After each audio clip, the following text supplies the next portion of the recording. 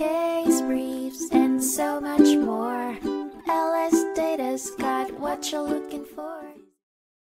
The case of the United States v. Nelson in 1995 involved a car salesman named Kevin Lee Nelson, who was accused of money laundering.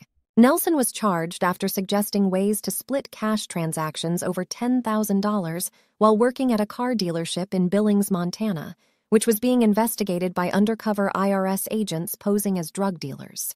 The United States Court of Appeals for the Ninth Circuit examined whether Nelson's actions constituted an attempt to launder money and if he could be held responsible for his co conspirators' actions.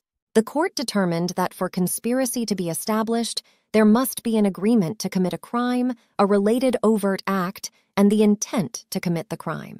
Though Nelson's attempt conviction was reversed, the court upheld his conspiracy conviction based on the recorded conversations with undercover agents and the resulting overt act committed by his co conspirator.